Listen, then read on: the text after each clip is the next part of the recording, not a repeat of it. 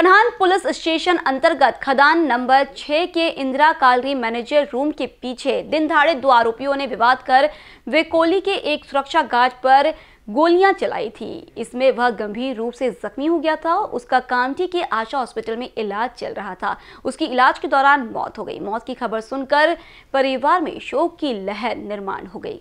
11 दिसंबर को दोपहर के दौरान सुरक्षा रक्षक मिलिंद खोबरागड़े वेकोली, इंदर खुली खदान नंबर 6 स्थित मैनेजर रूम के पीछे कोल डिपो व पजन काटी के समीप पेट्रोलिंग कर रहा था। इस दौरान आरोपी समीर सिद्दीकी व राहुल जैकब मोटरसाइकिल से पहुँचे और मैनेजर रूम के पीछे प्रतिबंधित क्षेत्र होने से मिलिंद ने उन्हें उधर जाने से रोका। इसके बाद दोनों उसके साथ गाली गलोच का धक्का मुक्की की। इस बीच आरोपी समीर सिद्दीकी ने अपने पास की देसी माउजर निकाला और मिलिंद को जान से मारने के उद्देश्य से गोलियाँ चलाई। इसी हादसे में घायल मिलिंद की बुधवार की रात अस्पताल में मौत हो गई। उसकी मौत की खबर सुनते ही जवान के घर में शोक की लहर निर्माण हुई है।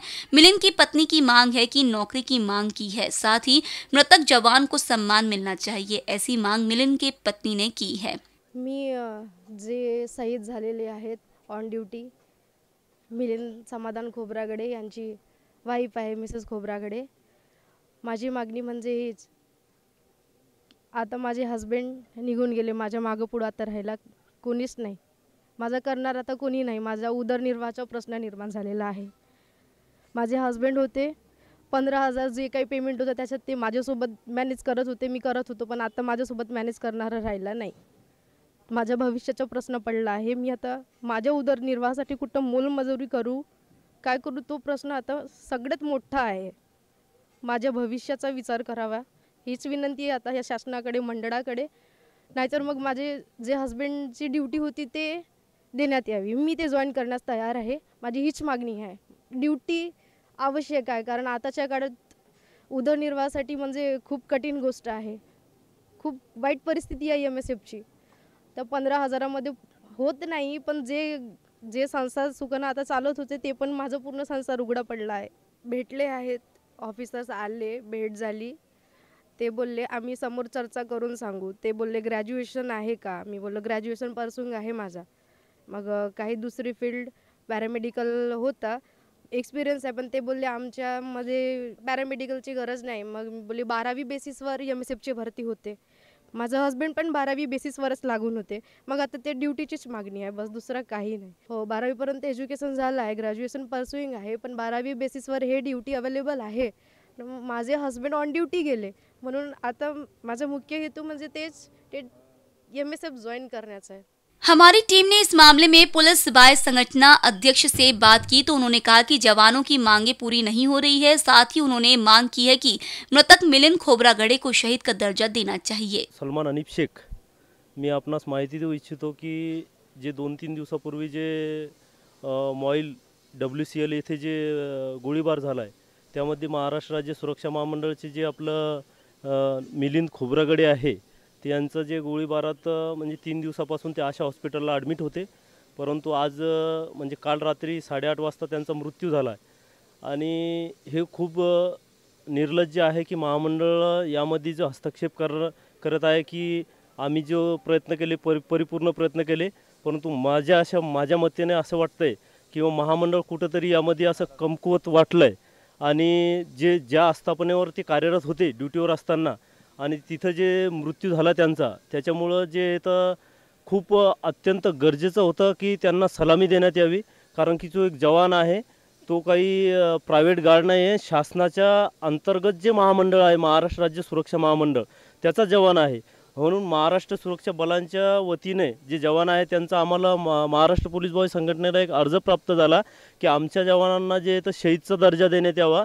आणि तिथे जे त्यांना म्हणजे श्रद्धांजली जे आहे अकोला येथे माननीय पोलीस अधीक्षक यांच्या कार्यालयात अंतर्गत जे येतं तिथे ते त्यांना श्रद्धांजली देण्यात यावी. मिलिंद के भाई से हमारी टीम ने बात की तो उन्होंने कहा कि इस मामले में जिम्मेदार लोगों पर कड़ी कार्रवाई होनी चाहिए। माझं नाव प्रफुल्ल समाधान खोबरागडे आहे. मी शहीद मिलिंद समाधान खोबरागडचा मोठा भाऊ आहे.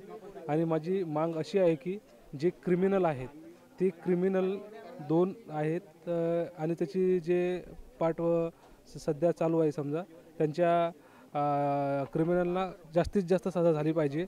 आणि माझ्या भावाला जो म्हणजे सन्मान भेटला पाहिजे शहीद सन्मान भेटला पाहिजे आणि माझ्या भावाच्या वाईफला तिला त्याच्या जाग्यावर रुजू केलं पाहिजे. बस एवढी डिमांड आहे माझी. आणि जास्तीत जास्त त्या क्रिमिनलला सजा झाली पाहिजे. इस मामले में हमने अधिकारी से बात की तो उन्होंने कहा कि ये दुखद घटना है आगे उन्होंने कहा कि उस दिन डब्ल्यूसीएल का कर्मचारी न आने से मिलन की ड्यूटी वहाँ लगाई गई थी। साथ ही उन्होंने कहा कि मृतक के परिजनों को पेंशन दी जाएगी। मेरी बात ईएसआईसी के जो अधिकारी है उनसे बात हुई है और उन्होंने आश्वासित किया है कि उसको पेंशन मिलेगी करके। तो उसके लिए कुछ डॉक्यूमेंट्स लगेंगे, जैसे एफआईआर पोस्टमार्टम रिपोर्ट क्योंकि पोस्टमार्टम तो अभी शुरू है और पोस्टमार्टम रिपोर्ट बनने में काफ़ी समय लगेगा। उनको अवगत कराया गया है कि पीएम मिलने में टाइम लगेगा। तो उनका कहना है कि जब पूरे डॉक्यूमेंट्स मिल जाएँगे, उसके बाद हम लोग प्रोसेस कर लेंगे उसको। पीड़ित की जो पत्नी है, ग्रीष्मा, ये बारहवीं पास है करके हमको बताया गया। इसके बारे में हमने जो मुंबई के वरिष्ठ अधिकारी है उनसे बात की और उसकी नौकरी के बारे में बात की तो उसके जो डॉक्यूमेंट्स वेरीफाई होंगे उसके बाद उसको निश्चित तौर से मदद मिलेगी। हाँ जब उन्होंने खुद होके फ़ोन किया था और ये बड़ा केस है इस टाइप का M S M S F में पहली केस है और ई एस आई सी वालों ने मुझे आश्वासित किया है कि उसको पेंशन मिलेगी। सर जैसे यदि उसको नौकरी मिलती है तो वो पेंशन नहीं मिलेगी फिर। रूलिंग पार्टी का जवान ये जीप में पेट्रोलिंग करता है, वहाँ फिक्स पॉइंट कोई नहीं था। और डब्ल्यूसीएल का कोई गार्ड गैरेजर होने से उसको वहाँ पर ड्यूटी दी गई थी। एमएसएफ के तरफ़ से सभी जवानों को राइफ़ल दी गई है।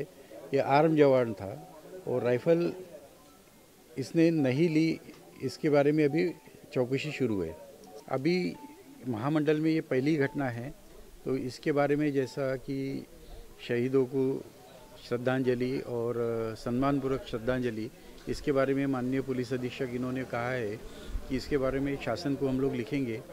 और ये पहली घटना होने से अभी एक्ट में ऐसी कोई प्रावधान नहीं है, लेकिन जल्दी हो जाएगा। कैमरा पर्सन अखिलेश भारद्वाज के साथ अभिषेक पानसी बीसीएन न्यूज़ नागपुर।